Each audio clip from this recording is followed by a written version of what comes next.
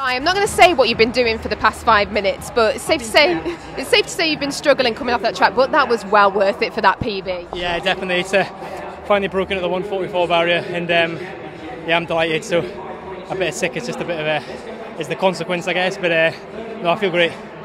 There's a lot of stake, at stake in that race, especially with the European selection coming up on Monday. Do you feel like you've done all you can do now to get that final third slot? Well, I couldn't have I couldn't have done any more. I've I've ran a 144 and, and, and PB'd and I picked up bronze at the trials and I couldn't have done any more. So fingers crossed. I feel like I deserve it, and I'm I'm going to go from strength to strength. My season's just getting started now, so August will be exciting. So hopefully I can get the nod and uh, and be just the goods for, for Great Britain out there.